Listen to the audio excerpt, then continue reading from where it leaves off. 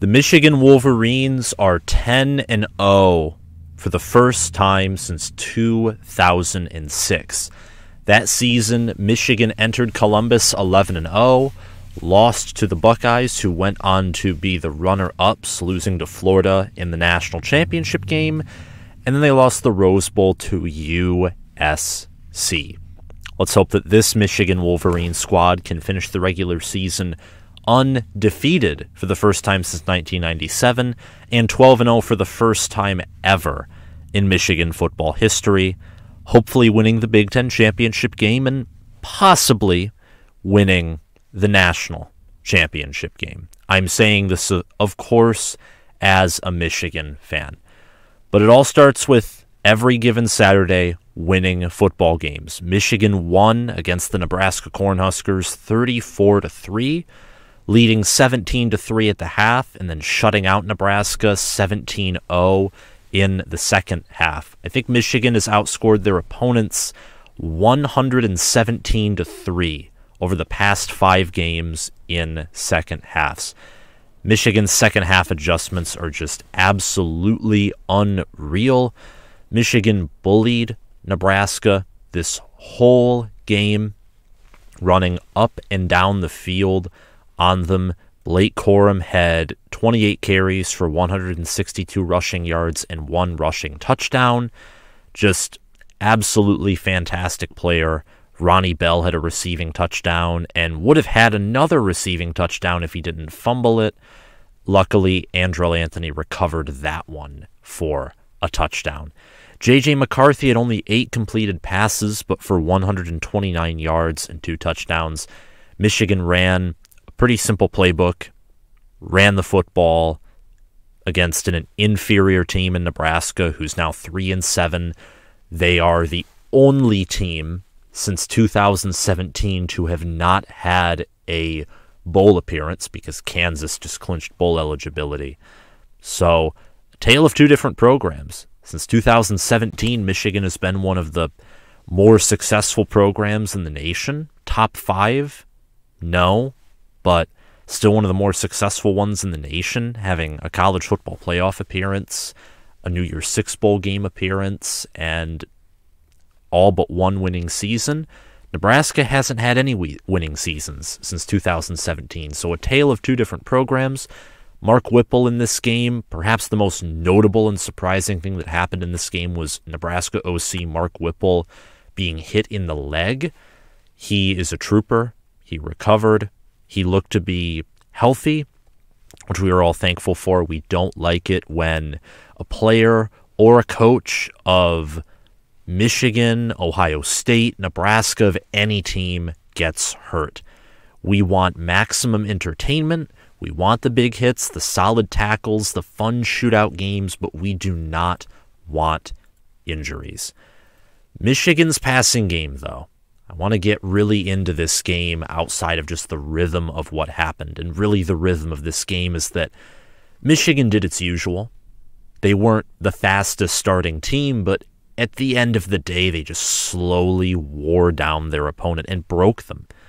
They went on a 14 0 run Timmy Bleekrode scored Nebraska's only points, three, with a 37 yard field goal, and then Michigan outscored Nebraska 20 to 0 the rest of the game. They had 412 yards to Nebraska's 146, 27 first downs to Nebraska's 8, and they had 35 minutes and 32 seconds of TOP to Nebraska's 24 minutes and 28 seconds. There was some snow in this game, weather conditions were not perfect. Nonetheless, Michigan's passing game is really worrying me as a fan. Now, what I will say is, I don't know if Michigan has to have a good to great passing game to win the national title. Or at least, I don't think they'll need it to win the Big Ten. National title is a completely different question. I don't think they need anything above an above average pass game to win the Big Ten championship game. They won the Big Ten last year with a worse defense, in my opinion, and with a worse offense. This team is better than last year's team, in my opinion, and they won the Big Ten. And Ohio State this year, despite being better, than last year's OSU team. I think that this Michigan team, with the style of football they play, and with November weather favoring the Wolverines, and Michigan still matching up better with Ohio State regardless of weather, which Ohio State actually overcame in their win against Indiana, Michigan can win the Big Ten with their current passing game. What's concerning to me is if this team goes on to the playoff with JJ McCarthy, you know, for two games in a row, he's completed 50% or less of his passes. He hasn't thrown a pick in any of those games, and he's thrown multiple touchdowns in the, in the Rutgers and Nebraska game, but he was 8 of 17 for 129 yards and two TDs. He has a QBR that's top 15 in the country, and he has like a 158 passer rating. So he's still on track for being statistically one of the most efficient Michigan quarterbacks, but he can do better. And the scheme can do better for him. He is a five star. He has a talented wide receiver corps, and yet the passing game, especially the deep passing game, doesn't connect. Now, what I will say before I move on to the next point, or really, no, this ties in with the next point. The Wolverine style of football continues to work. This system is far from broken. And the intermediate pass game is better than last year, in my opinion. The short and intermediate game is more fundamentally sound and is more consistent than last year. Now, the deep ball, I think Cade McNamara actually had a better deep ball last year than J.J. McCarthy does this year. But still, Michigan doesn't have to pass it as much this year because their offensive line is better. Their running back room is better. I mean, you have CJ Stokes, Donovan Edwards, Blake Corum, all really great running backs. Blake Corum is solidified himself with Chase Brown and Bijan Robinson struggling. This, you know, this past weekend, he solidified himself as the best running back in college football, and he has a great offensive line to work with. And the defense is number one in scoring and number one in rush yards allowed. So, what Jim Harbaugh is doing with this style of football continues. It just continues to work. Chewing clock, running for anywhere between four to six yards per carry. Last year it was really Michigan running anywhere from three to four yards per carry. So Michigan can run more effectively. They're more explosive in the run game. They're even better at getting pancakes, at bullying opposing defensive and offensive lines. I, as a Wolverine, love it.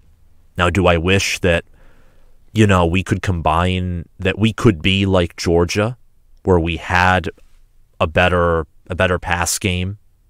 Do I do I wish that? Of course. It'd be awesome to see JJ McCarthy nail some deep balls and we'd probably average anywhere from 7 to 10 more points per game. But this Michigan team isn't perfect. And if Michigan were to have that deep ball threat and a better pass game, this team might be one of the better teams of the 21st century. Like this team is good. The passing game is the one missing piece, and they might not even need it to win in what has been a chaos year of college football. Nebraska, want to talk about them for a minute or so. They're in obvious need of a foundational rebuild. Obvious need. They're three and seven. They're the only team since 2017 to not have a bowl appearance. Mike Riley destroyed them, and Scott Frost came. He saw, he did nothing, and then he was frankly fired. So, Nebraska needs a big time head coach. They need a guy who can build a program, who can raid the portal, a guy who can get attention a guy who from like of recruits who can get attention but who can also scheme. So as I talked about with Corn Crazed on live, like Lane Kiffin, Deion Sanders would be good examples. Dave Aranda isn't as attention. I mean, he doesn't. He isn't as magnetic as those two, but he's very cerebral. He's a genius. He's done things in the Big Ten before. Lance Leipold or Chris Klieman, They've done more with less. They've rebuilt programs. Nebraska needs a builder. They need a builder now, whether that builder has charisma or recruits at a high level or develops at a high level or both. Get in someone who can rebuild from the foundation up, and I think Nebraska will be back to having some success. Here are some ramifications of this game The passing game is above average at best. However, and this is a question that I want you guys to answer in the comment section.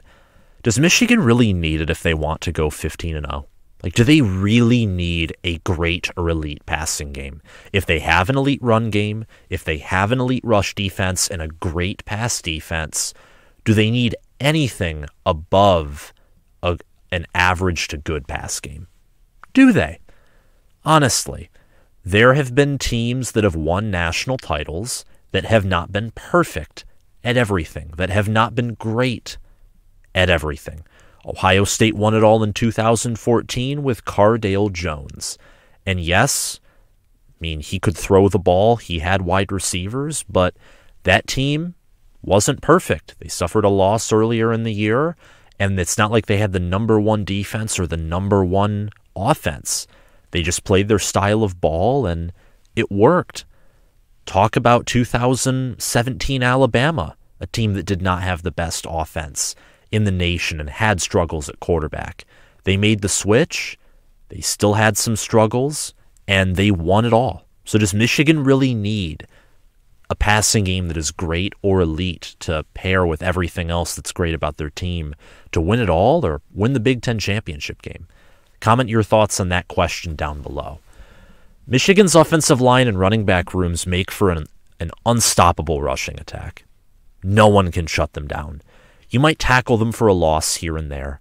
You might occasionally force Michigan into a passing situation, but history shows, consistency shows, that Michigan will be able to run, run, run, run, run on you.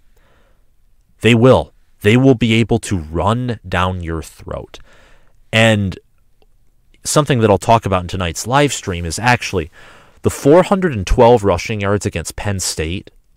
That that puzzles my mind because Penn State and other teams too that Michigan has ran against are actually all teams who are relatively decent or good or great at stopping the run. And Michigan has, they've just absolutely stomped and trucked through every team on the ground.